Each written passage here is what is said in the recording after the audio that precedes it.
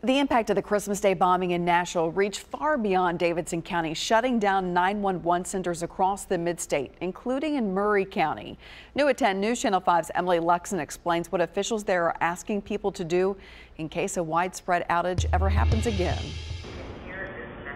I think, like most people, we were in shock. Moments after a bomb exploded on Christmas morning in Nashville, the effects were felt miles away in Maury County as the blast knocked out the 911 system. It's scary uh, as a human, as a first responder.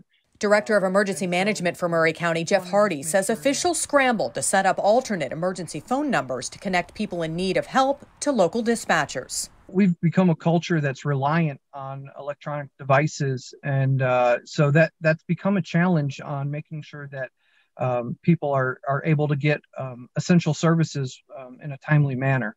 While Hardy says he believes all calls for help were answered, in an effort to get information out quickly in the future, officials are encouraging people to participate in the county's free emergency notification system. To sign up, just enter contact information online. We're able to um, call you or notify you uh, should there be an emergency, a large scale emergency, or um, infrastructure failure or anything like that.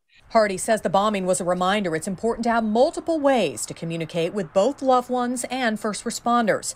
While he says he's proud of Maury County's quick response, the emergency notification system will help ensure the county and residents are connected and prepared for any future incidents. We want to just make sure that the general public knows that we're going to do whatever we can to make sure that they're safe, they're healthy, um, and they're taken care of. In Maury County, Emily Luxen, News Channel 5. Emily, thank you. To sign up for the emergency notification system, we have a link under this story at newschannel5.com.